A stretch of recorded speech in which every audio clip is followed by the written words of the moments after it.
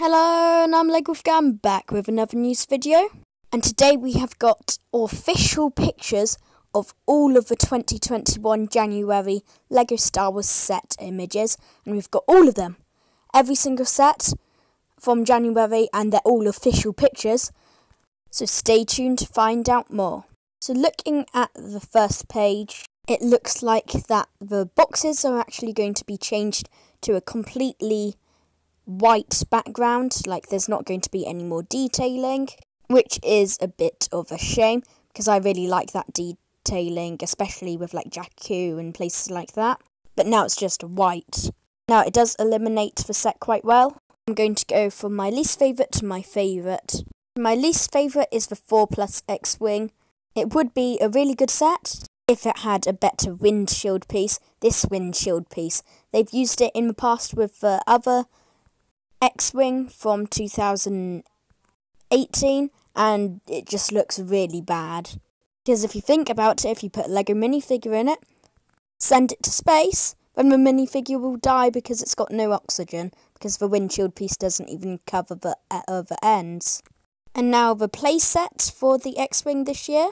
It does look quite good and it's using a lot of new techniques for this X-Wing. Just we've gotten at least 20 of them in the past. So for me personally, I'm not that interested in it. This is the only set we can officially know what minifigures will be in it. And there will be a R2-D2 and a Luke. Next is the Imperial Shuttle.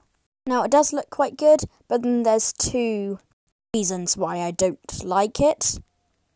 The first one is that it's got lots of grey on it when if you have a look at the picture from the film, it is just white with a couple flashing lights for wind visor thing is black, but then this one is a shady smoke black coloured windshield. I would prefer if it was just black.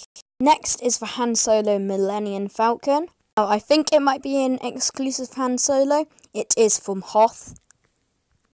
And I'm probably not getting this one because I've already got a Microfighter Millennium Falcon, the one for, with Chewbacca in, and literally it's going to be the same build, just different minifigure. The best one, in my opinion, is the AT-AT Duo Microfighter.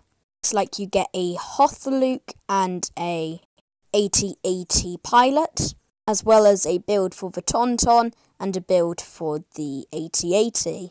But what do you guys think? Are you going to buy any of these? I'm LegoWolf Guy.